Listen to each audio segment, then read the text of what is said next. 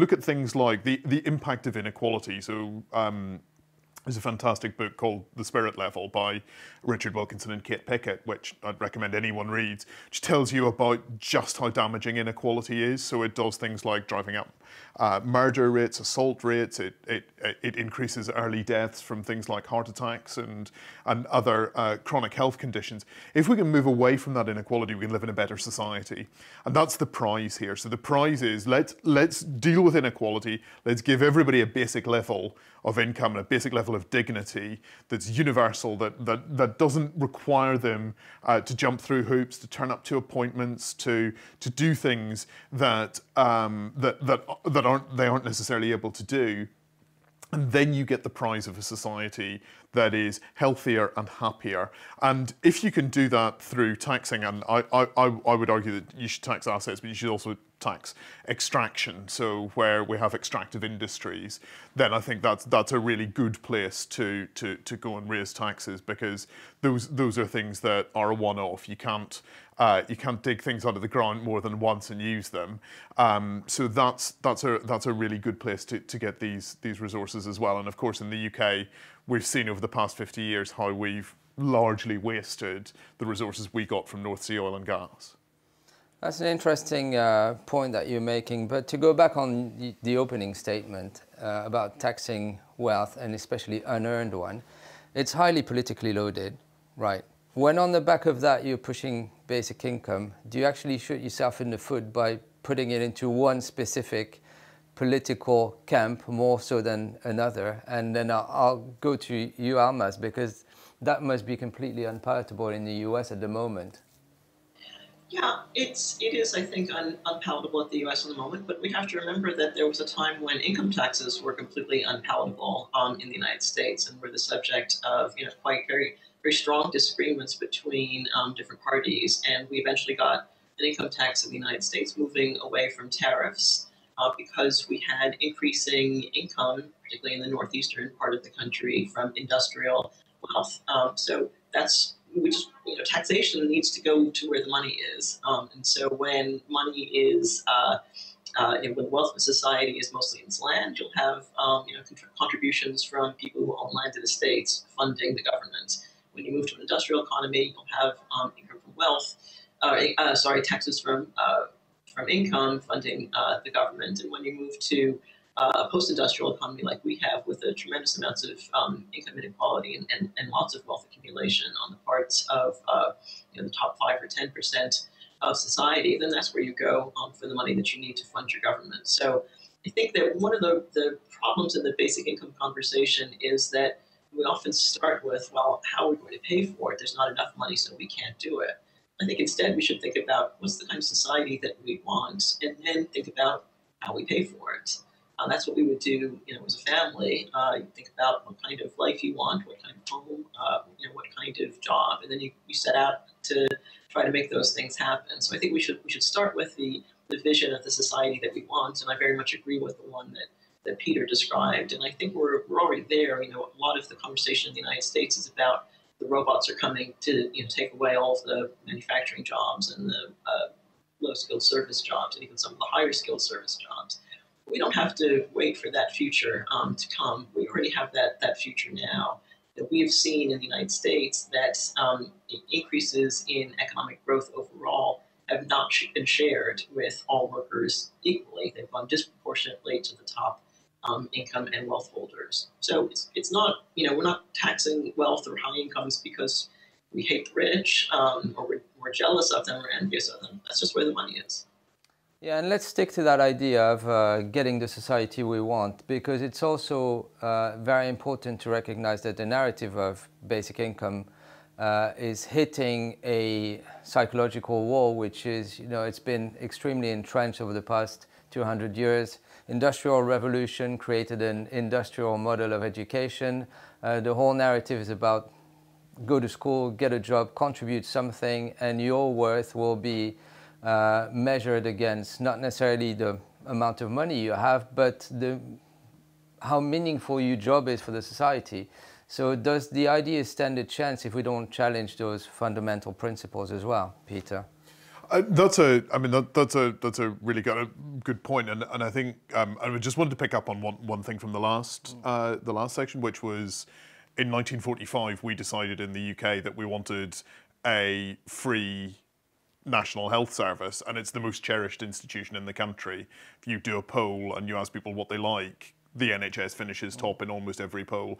Uh, at that time, Britain was absolutely saddled with war debt. It uh, it had a smashed society, and yet it was able to do what people really wanted to do, which was to create a national health service. Uh, and and and that shows that you can do what you want to do when you need to do it if you've got the will, and and that's that then becomes possible. You know, everything in history is impossible until it happens, and once it's happened, it becomes inevitable. Um, and that that's a really important thing thing to to hang on to. And to go back on the uh, the fundamentals of what we get taught, what we get raised with in terms of narrative, is there a way for uh, basic income and the idea to integrate that? Because can it actually be bolted on the system as we know it without challenging the, those preconceptions? Does it stand a chance if we don't go to the philosophical debate? And how do we go to the philosophical debate without shutting everybody off and actually making it engaging? So I, I think that I, I think that those those are those are really important points, and I think there's there's a thing here about what it is that we love doing. What is it that humans love doing? Uh, and a lot of critic, critics of, of universal basic income say people will be lazy. They'll be. Um, I, I did a did a media interview once where uh, a tabloid journalist described it as a layabouts charter uh, a quite colourful way of, de of describing what many people's fears are here. But actually, when you look at what people do, what they what they do in, in their own time is things that are creative. So they do craft, they do they create things, they they they make uh, normally uh, beautiful items, or they, they spend their time learning music, or learning um, learning foreign languages, or learning how to do something that, that, that they can't they can't do, or or consuming art and and and other things. And those are the things that actually make us more human. They relate very much to what our humanity is. And what we've been forced into doing is productivist jobs that are about um, creating things to be consumed when that consumption is not necessarily what it is that makes us human. And, and I think that's, this is one of the ways that we can throw off those shackles. And I think we live in a world that's absolutely full of alienation, where, where everybody feels incredibly alienated. They hate their jobs, they hate, they hate work, they hate uh, the system that, that they're working in. That's why we, that's why we have people voting for things like, like Brexit, for, for, for Donald Trump. We need to find a way to get away from that. And I think a universal basic income isn't all of that, but that's one of the key planks to this. It's one of the ways in which we can really get people to focus on what it is that makes them happy and that makes those around them happy. And when we have happy people, we have a better world. So, could we simplify to the extreme and say we're coming to the certain end of the industrial society? Of course, it still has a lot of uh, a profit to extract and it still can go quite a long way. But we could say, you know, most of it has been built. What we need, we have in terms of material comfort. Is, isn't it time now to let the, uh, the machines take over the boring and degrading work and move to a society which is more about innovation, creativity, and basically trying to do good rather than do less bad. So there's, a, there's an analogy with the material world here as well. Is, is that something that would be palatable, you think, Almaz?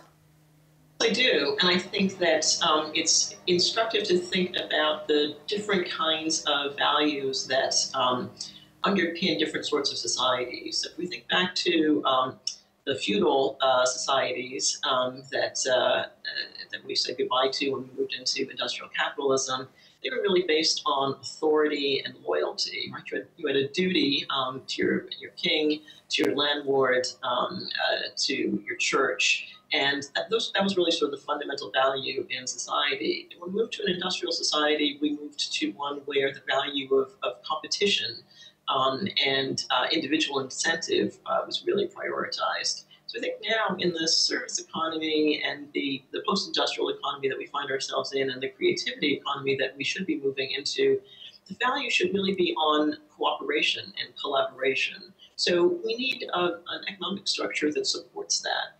And I think one way to move beyond some of the polarization that you find when you when you talk about basic income uh, to non-experts is to think about the uh, the ways in which our economy is already built on cooperation and collaboration, and think about not you know completely eliminate, eliminating competition and um, incentives to uh, for individual gain, but to think about shifting the balance more in the direction of cooperation. So when you look at basic income from a, a gender or feminist perspective, um, you know, you see that, as Peter's been alluding to from the beginning, uh, a lot of the very important work in society um, is caring work, and that's not paid for at all in the in the market. So we all already belong to families and communities and societies where uh, we have unconditional, individualized, um, in, you know, universal care that we provide to each other. And that's what allows us to participate in the more competitive market economy. So we still want to maintain both as we move forward into the, the new economy of the future. But it's it, it seems like we'll all be better off if we move